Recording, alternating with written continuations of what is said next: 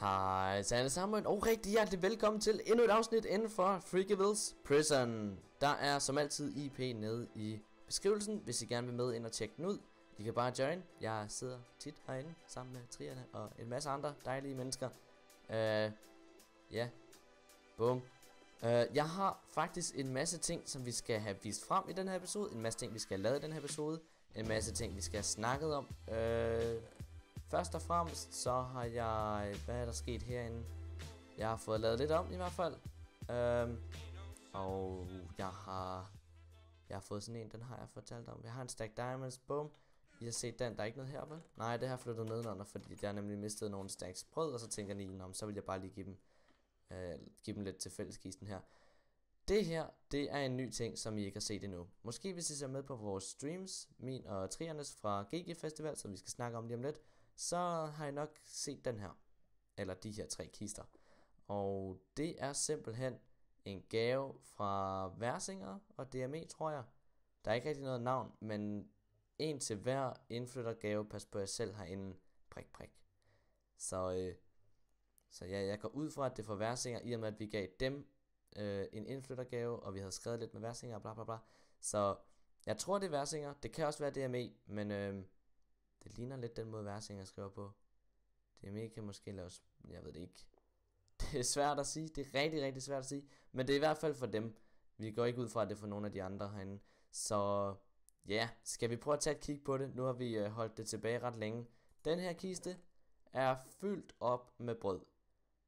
Hui, der er rigtig, rigtig meget brød her. Det er sat med meget. Det er 9, 18, 27, 36, 45, 54. 54 stacks brød i den her. Skal vi gå videre til den næste? Og der er 54 mere. Kan I så gætte, hvad der er den sidste? Der er sagt med også 54 stacks brød. Så det er 54 gange 3, hvilket jeg ikke gider at regne på lige nu. Nu har vi regnet nok, så ja, der er i hvert fald nok til, jeg tror det er sådan omkring 5 millioner, der bare ligger her. Måske mere, måske 10 millioner, der ligger her i dollars. Altså inde på serveren selvfølgelig. Sjovt. Hvis det var 10 millioner i virkeligheden. Hold da kæft. Bare for noget brød. Men øh, ja, der er rigtig, rigtig meget brød. Så en stor tak til Versinger og DME for den her sindssyge gave. Jo, det er jo langt fra, hvad vi har givet dem. Så, så det skal de i hvert fald have stor tak for. Og så har vi fået lidt i donation-kisten, som vi lige skal sortere lidt. Der er måske også noget heroppe. Ja, den har det med sådan lige at lægge lidt derop, og så, så kommer resten herned. Det er faktisk lidt mærkeligt, men øh, sådan er det. Og seeds har vi desværre ikke brug for. Lad være med at donere dem. Vi har masser. Øhm, leather. Det er heller ikke fordi vi står og mangler det, men øh, ja. Hvor er det vi ligger? Prøv at se, vi har fået de her ting her. Water bucket, så kan man købe en vandspand, står der. Og, øh, og seeds. De to dem har vi fået, og så en masse farver selvfølgelig. Men jeg forstår ikke, hvordan vi har fået dem. Det er meget mærkeligt. Øh, hvor er det, vi lægger det her henne? Det er måske ovenpå. Øh, hvor mange poletter har vi egentlig? Oh, vi har faktisk lidt til at fyre af. Lidt senere i videoen, hvis det er det, vi lige står og skal lave. Øhm, så ja, jamen, i, forresten så, øh, så tusind tak for den kæmpe støtte, som I har, som I har givet på den seneste øh, prison video. Det har været helt sindssygt, den, øh, hvad er det, det hedder, de likes, den har fået blandt andet, og, og kommentarerne, de er, det er fandme noget, noget fantastisk feedback, som jeg har givet, så keep it up. Det er, det er dejligt at se, det er rigtig, rigtig dejligt at, at læse alle, alle kommentarer og se, at der er sådan, sådan stor interesse inden for den, øh, den slags videoer, og, øh, og at, de, øh, at de er så glade over, at jeg har lagt så meget arbejde i den video. Det, øh, det, det gør mig i hvert fald rigtig, rigtig glad, at, øh, at jeg har givet den den, den feedback, som, øh, ja, som I nu har gjort. Uh, men nok omkring det. Jeg tænker, at vi skal snakke lidt omkring GG Festival, mens vi åbner nogle paletter. Nu løber jeg kun med en af gangen, fordi at hvis der nu står nogen derovre og holder vagt, der er jo 137 online. Så jeg tænker lidt, skal vi lige hurtigt lige lægge sådan der. Og så kan vi lige løbe over med en polet, tænker jeg. I hvert fald lige til at starte med. Måske hvis der ikke er nogen derovre, så, øj, så, øh, så kan vi godt løbe med mere end en. Okay, det er ikke godt det der. Det er slet ikke godt. Der står en hel masse derinde. Er der bare kamp til stregen herinde? Må vi kalde det største derinde alligevel? Ja, han løber den anden vej rundt. Gør han ikke? Jo, jo. Det gjorde han simpelthen. Okay, det var ham med Iron Gear. Okay, lad os lige se, hvad vi får. Og så løber vi lige tilbage. Vi skal lige have nogle flere så. Øj, der er nogen, der fighter nu. Ej, vi fik ingenting. Nej. Hår. Au, wow, slap af, mester. Ej, rip. 18 gik ind på den der uh, ender test i stedet for. Må jeg lige se verden? Så. Hui, okay. Men vi fik øh, åbnet den polet, og vi fik desværre ingenting, så det var lidt rip. Men øh, jeg tænker måske, vi skal vente til lidt senere, hvor folk de er mindre aggressive. A.k.a. der er mindre folk inde på serveren, fordi at øh, det er ret farligt lige nu. Der er jo lidt over 100 inde. Jeg ved ikke, om jeg har vist det her, øh, men hvis man højreklikker på nogle af de her ting, så har Andreas gjort sådan, at øh, de skriver noget ned i chatten. Jeg ved ikke, om I kan læse det, men der står fe, hvis man højreklikker på den, og så står der lol, hvis man højreklikker på den her, og øh, jup, det er et håndtag, og så en smiley. Og så har vi også heroppe, der er der den her. Bum. Hvorfor fuck går der og trykker på alt muligt underligt? så, øh, så det er jo nice. Og jeg tror også, der var lige en mere. Den der. Uh, wow, hvorfor fanden trykker du på den her knap? Så den var han sat. Jeg ved ikke, om jeg har vist den før, men uh, det kan godt være, jeg har det. Men nu har jeg set dem igen. Så øh, jeg tænker, det er hurtigt, vi klipper, og så øh, kan jeg fortælle om GG Festivalen i næste klip, og så kan vi åbne nogle flere poletter og så videre. Så, øh, så det må vi lige øh, se på i næste klip. Så nu er klokken blevet ret mange, og der er kun syv online i A. Jeg ved ikke lige, hvad ham der han laver. Står lige til højre for mig. Men øh, jeg har taget fire poletter med herover, fordi vi skal prøve at bruge dem. Og så skal vi snakke lidt om GG Festival, fordi at jeg har lige kommet hjem fra GG Festival her i dag. Det er søndag, jeg optager lige nu, og jeg tog hjem. Jeg blev hentet af min mor klokken 5, og øh, ja, så, så tog jeg egentlig hjem, og så var vi hjemme ved 6 tiden og sådan noget. Så, øh, så ja, det var, det var super... No way! No fucking way! 2,5 million! No fucking way! No! Nej, nej, nej. Det, øh, det kan ikke... What? What? What? No way! What the fuck? shit! Holy shit! No! Nej! Amen! Ej, det kan sgu da ikke gøre den her video meget ved. Wow! Må man lige være her, at ikke skriver Bodil? Hold da... Holy moly, mand. Så vinder vi lige 2,5 million. Så er vi fandme godt på vej til friheden allerede. Det må man fandme sige. Hold da, holy fuck det. Ja, så må man godt bande. Nå, men øhm, det var der lige en anden drejning, som den her video den tog. Det må man sgu da godt nok lige sige. Holy scheisse. Hold da kæft. Wow. Huh. Jeg skal lige... Øh jeg skal lige køle lidt af. Huh. Huh. Huh. Okay. Halvvejs til friheden. Det er jo nemt. ah, men altså, det, det er så sindssygt. Alle de jackpots, de roller bare ind. Altså, det må være alt det ulykke på den. Altså, fra da jeg var i C og B, det må være alt den ulykke, der bare... Ja, yeah, som bare ruller ind nu her til sidst. Fordi at jeg har fik jo næsten de jackpot i B, og så... Øh, ja, så fik jeg jackpot for Mikkel på hans account, da jeg var hjemme hos dem. Og... Og nu får jeg så jackpot i A. Den vildeste, og det var ikke bare guld jackpot, det var fandme diamond jackpot på 2,5 million. Wow. Det er fandme sindssygt. Men øh, ja, jeg ved ikke helt, det, wow. Ah, Jamen, det er jo sindssygt det der. Men øhm, ja, som jeg var ved at sige, så var det i hvert fald super nice til GG Festival, og øh, jeg mødte en rigtig masse dejlige fans. Der var en, der havde taget min t-shirt på, så det var, det var rigtig cool at møde ham. Og der var en hel masse, der ville have autografer og tage billeder og sådan noget, både med mig og trierne. Det var, det var vildt hyggeligt at møde jer alle sammen, og da vi streamede, var der rigtig mange, der, der donerede og så med, og det var, det var super dejligt med al jeres støtte. Så I skal i hvert fald have tusind tak. Og så var der også nogen, der ville donere penge i virkeligheden. Og jeg synes, det var fint nok med sådan en 20'er, eller en 5'er, eller en 10'er, eller sådan noget. Men der var lige pludselig en, der kom over med en 200 kroner seddel, og der sagde jeg altså, nej, den beholder du. Jeg tror, din mor hun bliver glad, hvis du, hvis du bruger dem på mad eller noget andet i stedet for. Og jeg synes, det var lidt mærkeligt at modtage så mange penge i virkeligheden. Sådan af folk, der bare kommer og giver dem. Så derfor valgte jeg at sige nej til ham, øh, og at han skulle hellere bruge dem på noget andet. Øhm, så jeg, ja, det, ja, sådan var det simpelthen. Øhm, så ja, det var, det var super hyggeligt, og trierne og jeg, vi deltog også i, i Hunger Games, Øhm, fin, ja, ikke finalen, eller jo, det gjorde vi så til sidst, hehe, men øh, nu er det lidt spoiler.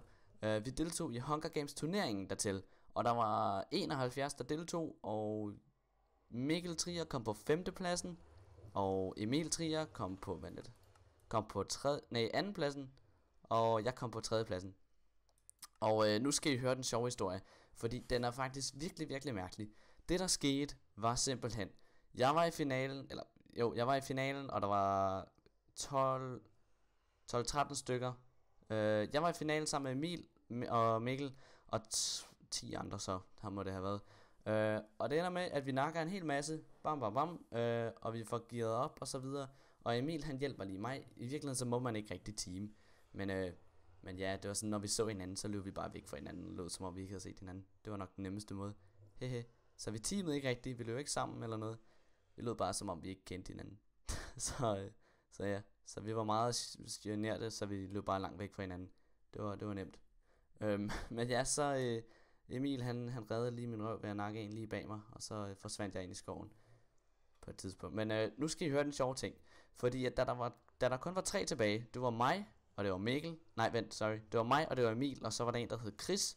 Det mærkelige var, at øh, dem, der havde lavet, eller dem, der havde stået for det her arrangement her med, øh, med Hunger Games, de havde simpelthen øh, gjort sådan, at i finalen, altså når man blev teleporteret ind i midten, så, øh, hvad hedder det, så var der et lyn, der, ned, altså, der slog ned, øh, efter de to minutter var gået, og det var så den, øh, et lyn, der slog ned på den, der havde lavest HP, øh, så ja, yeah, nu skal I høre det mærkeligt. Jeg, tele eller jeg brugte en, øh, en enderpearl for at komme over til ham Chris her. Af en eller anden grund, så når Emil lige at skyde en pil på mig, inden jeg teleporterer derned. Sådan så, at jeg dør af fall damage. Bare sådan, det var vildt mærkeligt. Så jeg dør af fall damage lige det, jeg slår ham der Chris der. Så der døde jeg. Jeg fik tredjepladsen. Emil er tilbage mod Chris. Han løber over og slår ham en gang. Og øh, Chris slår ham også en gang. De slår hinanden på samme tid. Men fordi Chris han har enchantet sit, øh, sit svær, så øh, når de kun lige at slå hinanden en gang hver.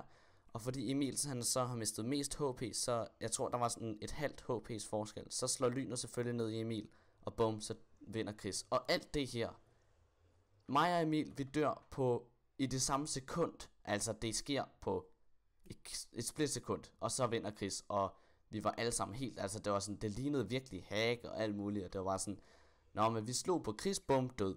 Og så kommer Emil, jeg slår på Chris, eller han slår på Chris, bum, død. Så det var virkelig, det var virkelig sært. Og Chris han står også bare, what, det der, det, det er ikke mig, der hacker, drenge. Sådan, ja, det, det var virkelig mærkeligt. Men det endte simpelthen med, at Chris han løb med førstepladsen, og, øh, og mig og Emil, vi, vi løber med andenpladsen. Hvad laver Magix Gaming? By the way, Magix Gaming, han er en af mine gode venner. Jeg vidste faktisk ikke, han var kommet op i A. Det går først lige op for mig nu. Nå, men øh, han laver i hvert fald også YouTube. Um, han laver også en serie herindefra, hvis I skulle have lyst til at se det fra en anden YouTuber, så laver han også YouTube. Um, men ja, uh, det var i hvert fald en meget intens fight i den Hunger Games øh, øh, uh, uh, konkurrencetænkning.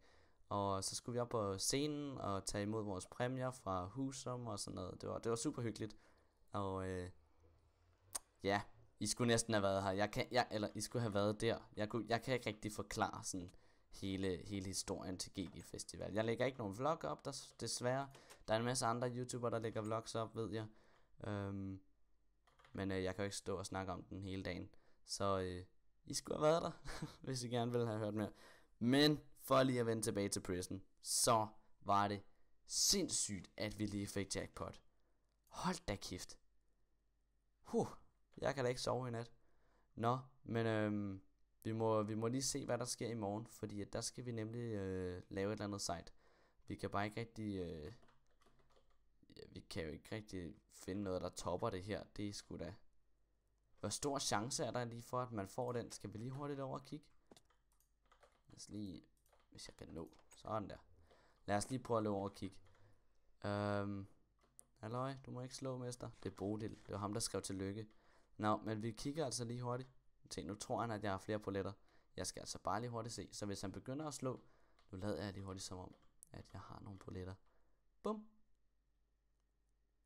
Nej, han slår mig ikke. Nå, men øh, der er simpelthen 0,25% chance. Det samme med den her. Det var godt, vi fik den her, ikke den her. Det er ligesom at åbne en kniv. Hmm. Nemt. Nemt, nemt, nemt. Kappa. Ej, men det, det er sindssygt. Det, det må jeg indrømme. Det, øh, det går sgu godt lige her for tiden med de money der herinde i prison. Så, øh, så ja, vi kigger lige på, hvad der sker i morgen inde på prison, og så, øh, så vender vi tilbage der. Så vi ses i morgen. Godnat. Hey, pst. Pst, hej.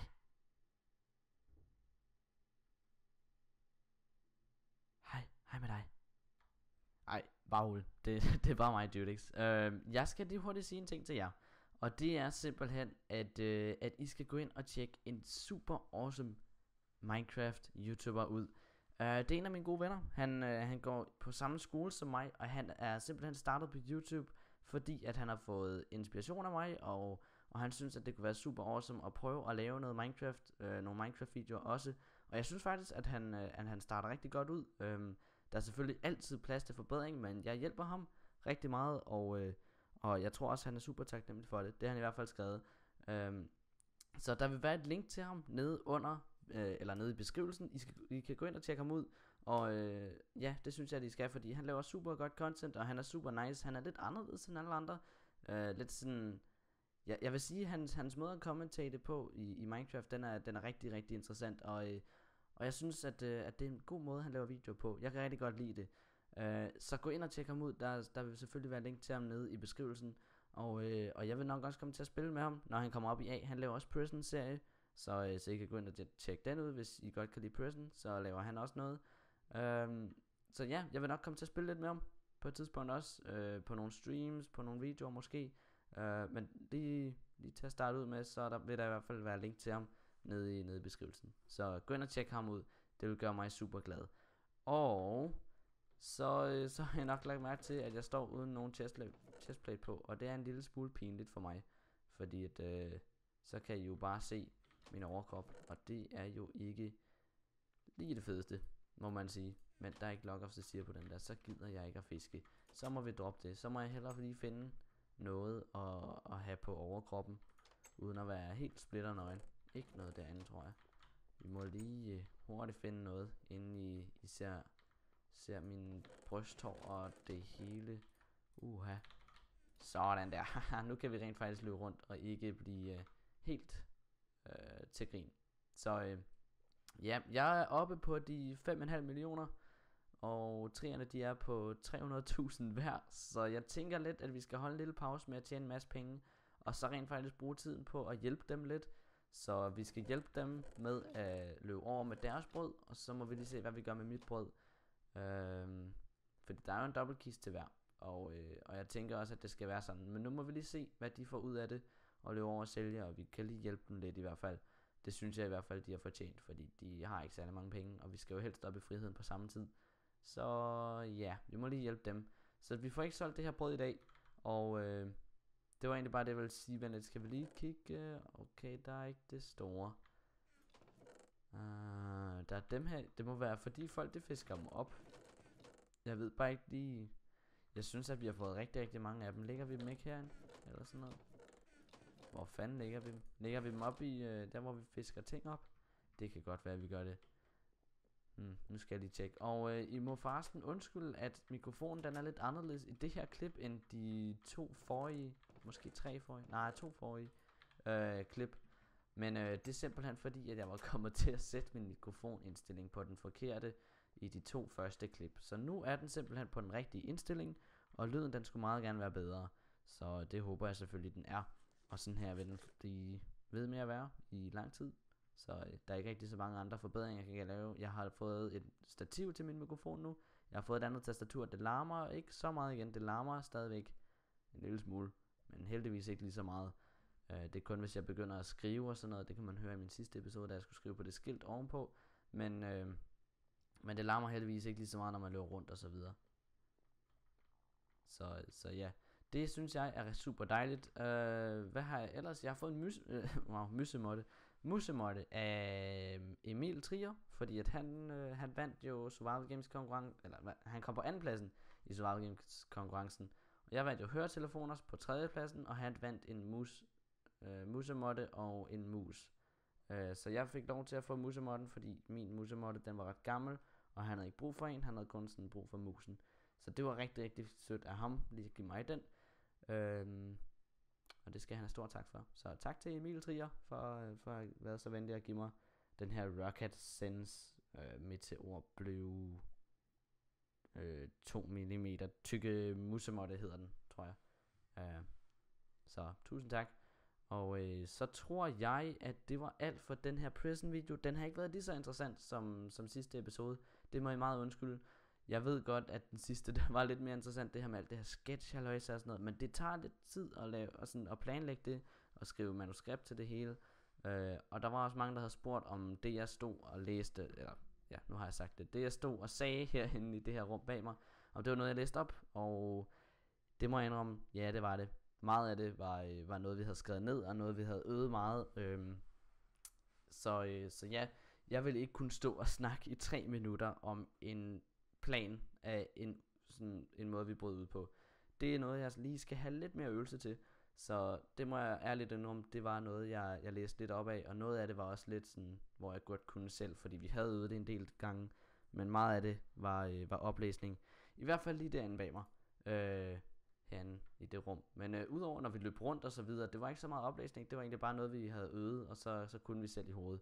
Så, øh, så ja, men det hele det var en sketch, og øh, og det hele var noget, vi havde skrevet ned og planlagt. Så, så ja, men I skal i hvert fald have tusind tak for jeres respons på den sidste video. Det har været helt insane. På to dage er der allerede 6.000 visninger, og, og hvad er der ellers? Der er over 600 likes. Det er så sindssygt. Så tusind tak for det.